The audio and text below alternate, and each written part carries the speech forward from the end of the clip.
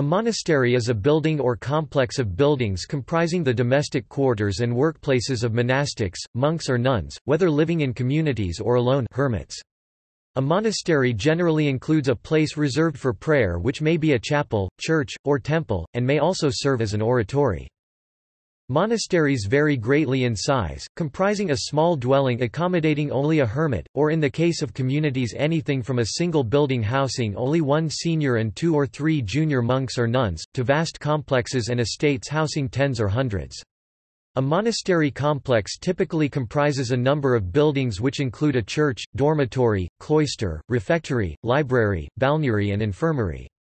Depending on the location, the monastic order and the occupation of its inhabitants, the complex may also include a wide range of buildings that facilitate self-sufficiency and service to the community. These may include a hospice, a school, and a range of agricultural and manufacturing buildings such as a barn, a forge, or a brewery. In English usage, the term monastery is generally used to denote the buildings of a community of monks.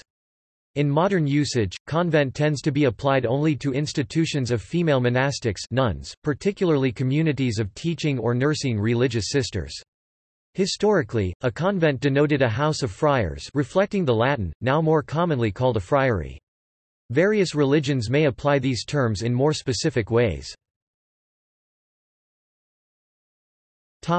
Etymology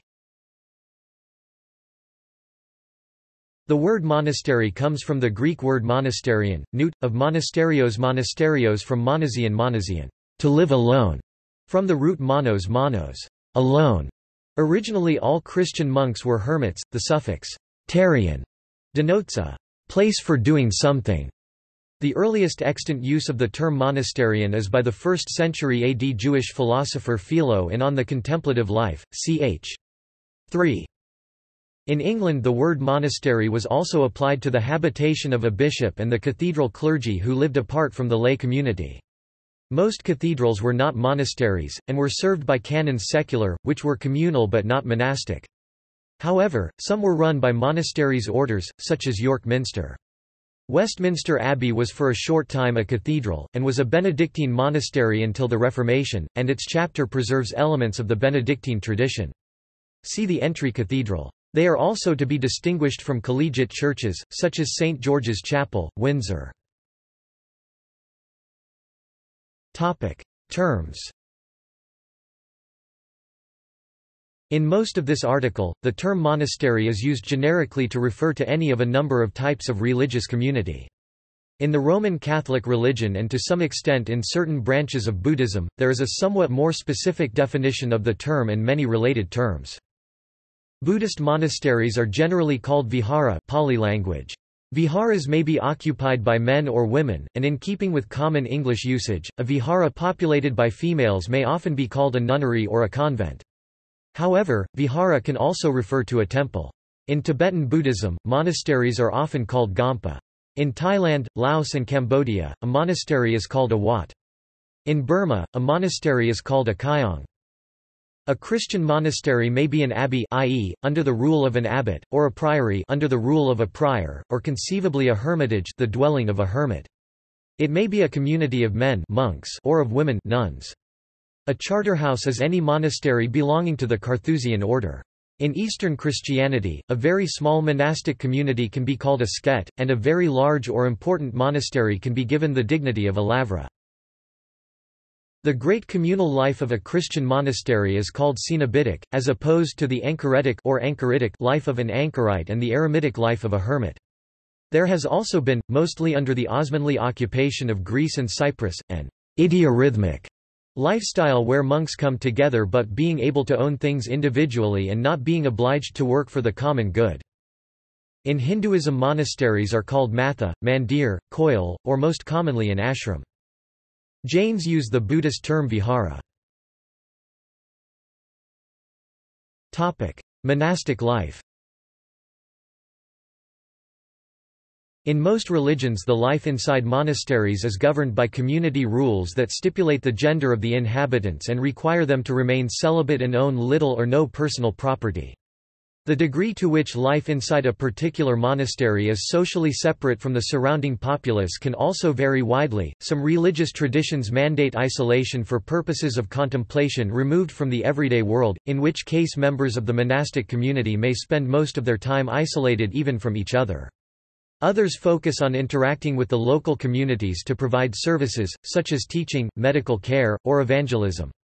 Some monastic communities are only occupied seasonally, depending both on the traditions involved and the local weather, and people may be part of a monastic community for periods ranging from a few days at a time to almost an entire lifetime. The life within the walls of a monastery may be supported in several ways by manufacturing and selling goods, often agricultural products, by donations or alms, by rental or investment incomes, and by funds from other organizations within the religion, which in the past formed the traditional support of monasteries.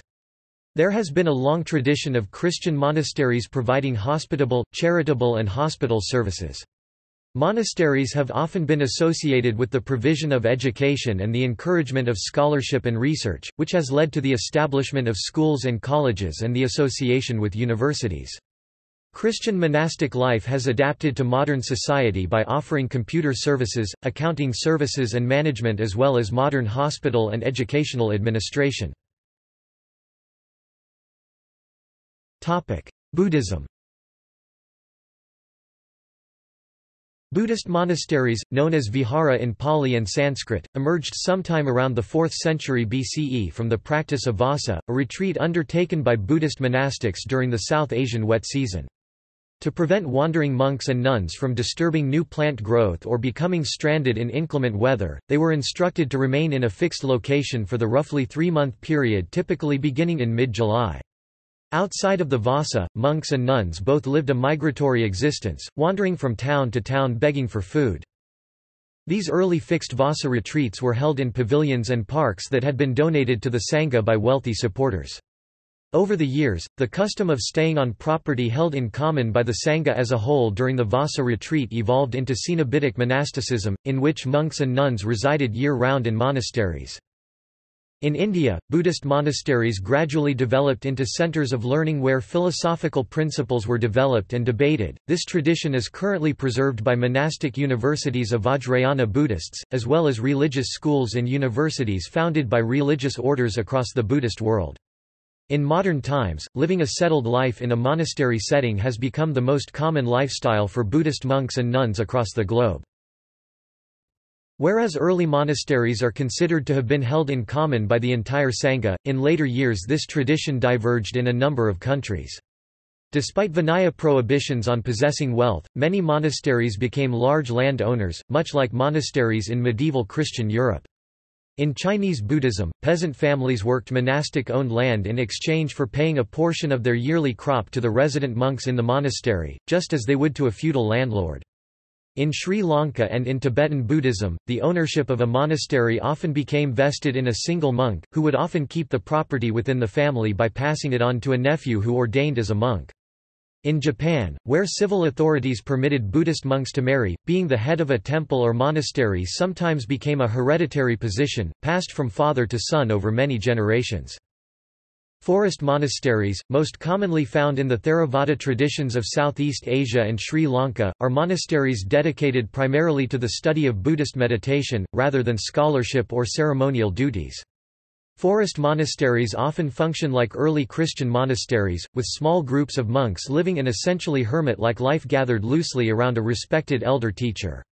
While the wandering lifestyle practiced by the Buddha and his disciples continues to be the ideal model for forest tradition monks in Thailand and elsewhere, practical concerns including shrinking wilderness areas, lack of access to lay supporters, dangerous wildlife, and dangerous border conflicts dictate that increasing numbers of meditation monks live in monasteries, rather than wandering.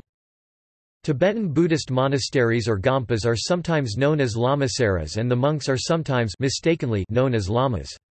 Helena Blavatsky's Theosophical Society named its initial New York City meeting place, the Lamasera.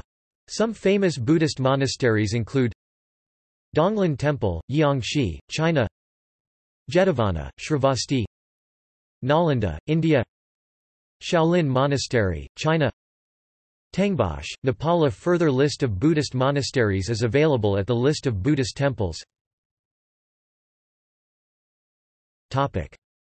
Trends Some of the largest monasteries in the world are Buddhist. Drepung Monastery in Tibet housed around 10,000 monks prior to the Chinese invasion. Today, its relocated monastery in India houses around 8,000.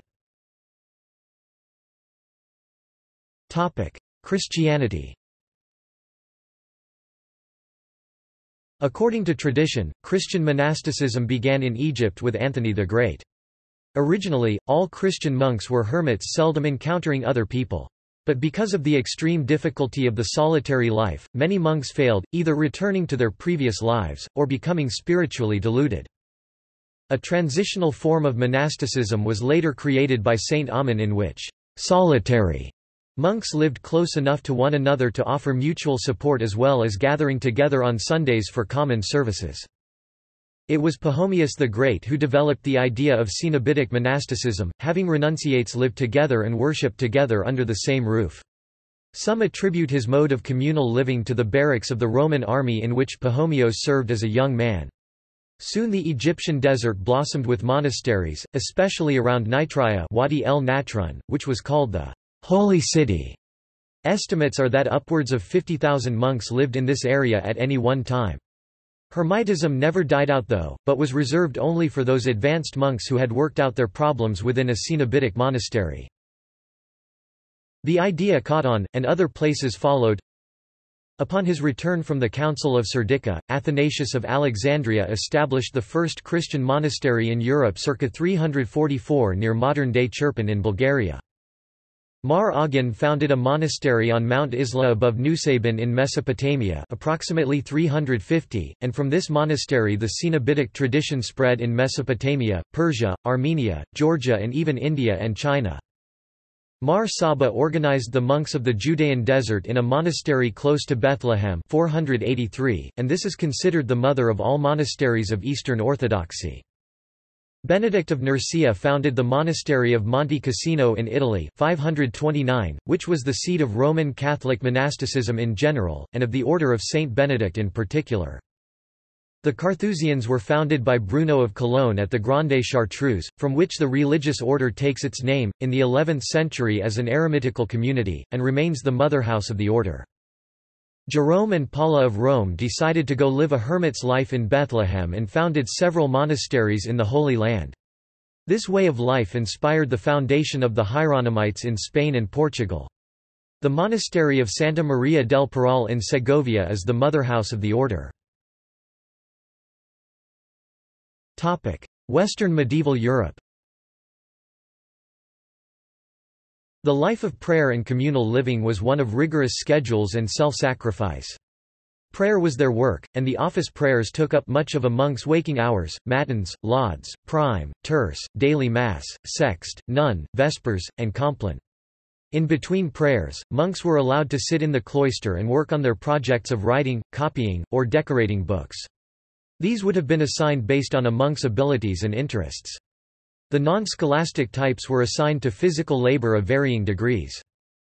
The main meal of the day took place around noon, often taken at a refectory table, and consisted of the most simple and bland foods i.e., poached fish, boiled oats. While they ate, scripture would be read from a pulpit above them. Since no other words were allowed to be spoken, monks developed communicative gestures. Abbots and notable guests were honored with a seat at the high table, while everyone else sat perpendicular to that in the order of seniority. This practice remained when some monasteries became universities after the first millennium, and can still be seen at Oxford University and Cambridge University. Monasteries were important contributors to the surrounding community. They were centers of intellectual progression and education. They welcomed aspiring priests to come study and learn, allowing them even to challenge doctrine in dialogue with superiors.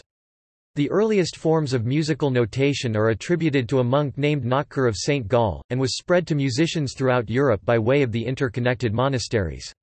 Since monasteries offered respite for weary pilgrim travelers, monks were obligated also to care for their injuries or emotional needs. Over time, lay people started to make pilgrimages to monasteries instead of just using them as a stopover. By this time, they had sizable libraries that attracted learned tourists. Families would donate a son in return for blessings. During the plagues, monks helped to till the fields and provide food for the sick.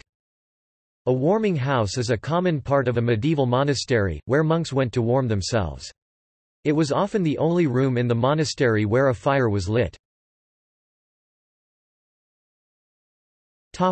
Catholic A number of distinct monastic orders developed within Roman Catholicism. Camaldolese monks Canons regular of the Order of the Holy Cross, priests and brothers, all of whom lived together like monks according to the rule of Saint Augustine. Carmelite hermits and Carmelite nuns from the ancient observance and Discalced branch.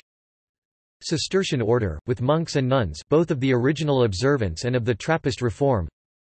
Monks and Sisters of Bethlehem Order of Minims, founded by Saint Francis of Paula Order of Saint Benedict, known as the Benedictine monks and nuns, founded by Saint Benedict with Saint Scholastica, stresses manual labor in a self-subsistent monasteries. See also, Cluniac reforms Order of Saint Clare, best known as the Poor Clares of all the observances Order of Saint Jerome, inspired by Saint Jerome and Saint Paula, known as the Hieronymite monks and nuns. Order of St. Paul the First Hermit, known as the Pauline Fathers. Order of the Annunciation of the Blessed Virgin Mary, also known as Sisters of the Annunciation or Anochetes, founded by Saint Joan of France. Order of the Carthusians, a hermitical religious order founded by Saint Bruno of Cologne Order of the Immaculate Conception, also known as the Conceptionists, founded by Saint Beatrice of Silva. Order of the Most Holy Annunciation, also known as Tertian Nuns or Blue Nuns, founded by B.L. Maria Vittoria de Fornari Strata. Order of the Most Holy Saviour, known as Brigittine Nuns and Monks, founded by Saint Bridget of Sweden Order of the Visitation of Holy Mary, known as the Visitandine Nuns, founded by Saint Francis de Sales and Saint Jane Frances Fremiot de Chantal. Passionis Premonstratensian canons, the White Canons, Tironensian monks, the Grey monks, Valliscaulian monks, while in English most mendicant orders use the monastic terms of monastery or priory, in the Latin languages, the term used by the friars for their houses is convent, from the Latin conventus, e.g., Italian, convento or French, couvent, meaning, gathering place. The Franciscans rarely use the term, monastery, at present, preferring to call their house a friary. Orthodox In the Eastern Orthodox Church and Eastern Catholic Church, both monks and nuns follow a similar ascetic discipline, and even their religious habit is the same though nuns wear an extra veil, called the apostolnik. Unlike Roman Catholic monasticism, the Orthodox do not have separate religious orders, but a single monastic form throughout the Orthodox Church.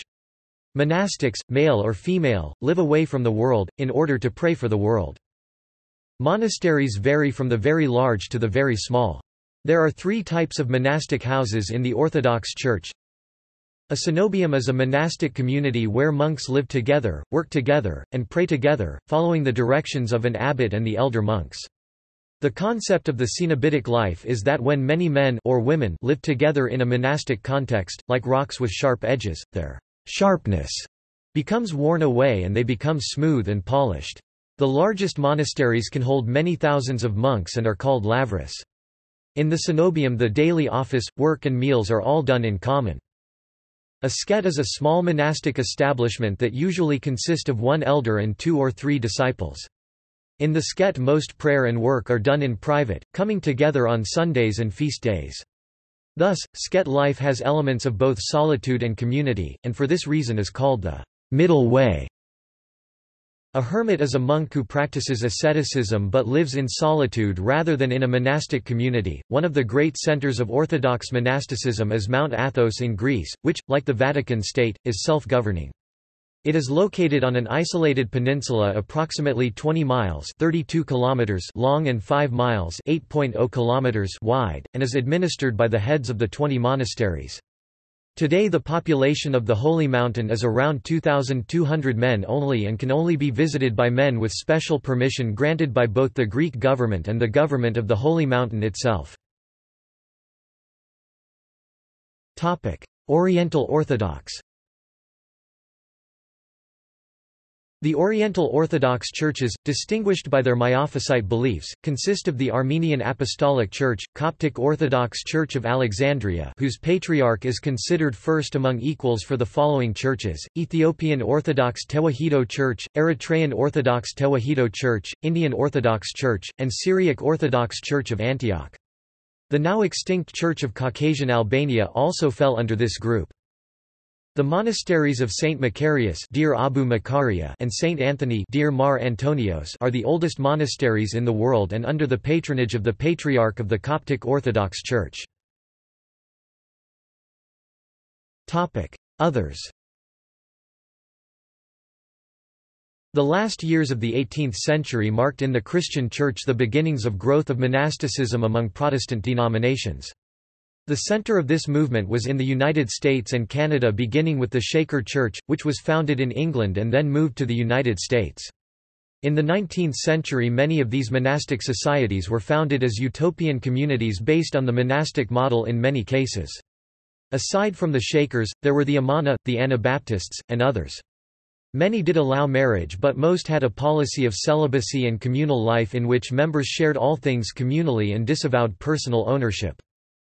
In the 19th century monasticism was revived in the Church of England, leading to the foundation of such institutions as the House of the Resurrection, Mirfield Community of the Resurrection, Nashdom Abbey Benedictine, Cleve Priory Community of the Glorious Ascension and Ewell Monastery Cistercian, Benedictine Orders, Franciscan Orders and the Orders of the Holy Cross, Order of St. Helena. Other Protestant Christian denominations also engage in monasticism, particularly Lutherans in Europe and North America. For example, the Benedictine Order of the Holy Cross at St. Augustine's House in Michigan is a Lutheran order of monks and there are Lutheran religious communities in Sweden and Germany. In the 1960s, experimental monastic groups were formed in which both men and women were members of the same house and also were permitted to be married and have children. These were operated on a communal form. Trends There is a growing Christian neo-monasticism, particularly among evangelical Christians. Hinduism Advaita Vedanta From the times of the Vedas people following monastic ways of life have existed in the Indian subcontinent. In what is now called Hinduism, monks have existed for a long time, and with them, their respective monasteries, called mathas. Important among them are the Chatur Amnaya mathas established by Adi Shankara which formed the nodal centers of under whose guidance the ancient order of Advaitin monks were reorganized under ten names of the Dashanami Sampradaya. Ramakrishna Math Sri Vaishnava Ramanuja heralded a new era in the world of Hinduism by reviving the lost faith in it and gave a firm doctrinal basis to the Vishishtadvaita philosophy which had existed since time immemorial. He ensured the establishment of a number of mathas of his Sri Vaishnava creed at different important centres of pilgrimage. Emar Matha at Puri Saranga Narayana Gr Mutt at Srirangam Tirumala Petta Jiyangar Mutt at on. Other famous Sri Vaishnava theologians and religious heads established various important mathas such as Vannamamalai Mutt Parakala Mutt Ahobila Mutt Nimbarka Vaishnava Nimbarka Sampradaya of Nimbarkacharya is popular in North, West and East India and has several important mathas. Nimbarkacharya Peeth at Salimabad, Rajasthan. Kathia Baba Ka Stan at Vrindavan. Ukhra Mahanta Asthal at Ukhra in West Bengal. Howrah Nimbarka Ashram at Howrah. Dvaita Vedanta.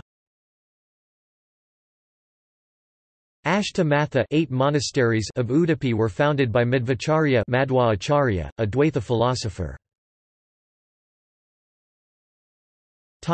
Sufism